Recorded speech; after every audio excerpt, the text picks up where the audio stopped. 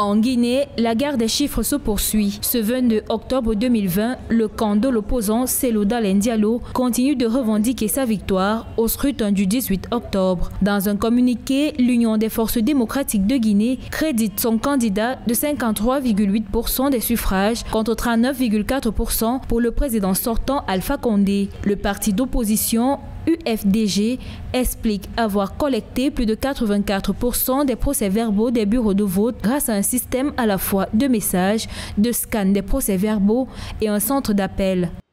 Monsieur Selouda Diallo n'est pas sa première tentative pour essayer de gagner une élection en dehors des urnes. Je tiens à rappeler qu'en 2010 également, quelques heures à peine après la fermeture des bureaux de vote et plusieurs jours avant la proclamation euh, des résultats officiels par la CENI, il s'était autoproclamé vainqueur avec des chiffres complètement erronés. Cette année encore, il nous revient avec la même attitude.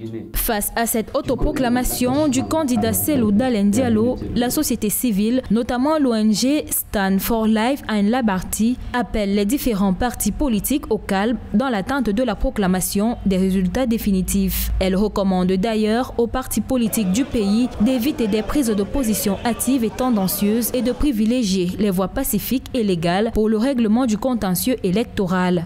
Nous demandons au peuple de rester serein et d'attendre calmement la proclamation des résultats par la CENI. La seule institution chargée d'organiser les élections est donc habilitée à publier les résultats. La suite donc des événements sera gérée par la procédure judiciaire, c'est-à-dire une saisine en cas de contestation et bien évidemment une saisine de la Cour constitutionnelle qui est la seule habilité à traiter le contentieux électoral. Précisons que l'autoproclamation de l'opposant Selou Dalen Diallo comme vainqueur du scrutin du 18 octobre ravive les tensions dans le pays.